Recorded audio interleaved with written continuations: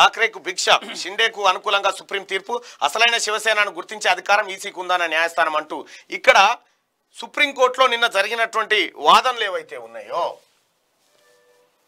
సుప్రీంకోర్టులో జరిగినటువంటి వాదనలు నిన్న లైవ్ టెలికాస్ట్ నిన్న దానికోసం ఒక స్పెషల్గా పెట్టినామని చెప్పినాం కదా. ఇగో జనం గోసల్ అనే దాంట్లో సుప్రీంకోర్టు సంబంధించినటువంటి లైవ్ టెలికాస్ట్ జరుగుతూ ఉంది. సుప్రీంకోర్టులో ఏం చర్చ జరుగుతూ ఉంది ఏమనుకుంటా ఉన్నారు ఎవరెవరు ఏం మాట్లాడుతూ ఉన్నారు ఇదంతా నిన్న లైవ్ టెలికాస్ట్ చేయడం జరిగింది. ఇవాళ కూడా సుప్రీంకోర్టుకు సంబంధించినటువంటి లైవ్.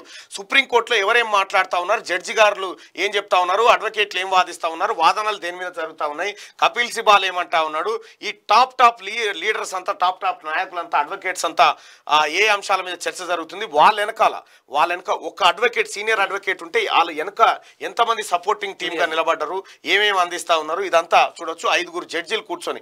ఇట్లా జడ్జీలు కూర్చొని చూసేటువంటి వీడియోలు మనం ఎప్పుడు చూడలేదు. ఎస్ అరుదు అరుదంటే చరిత్రలో. భారతదేశ చరిత్రలో మొట్టమొదటిసారిగా రమణ రమణ ఒక్కసారి.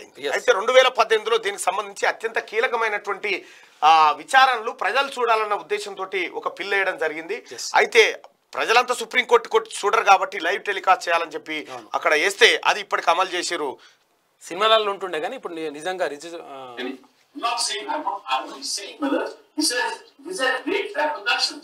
సో ఇట్లా జరుగుతా ఉన్నాయి.